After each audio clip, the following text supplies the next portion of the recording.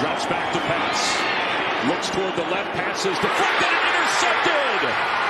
Malcolm Butler picks it out of the air and winds his way inside.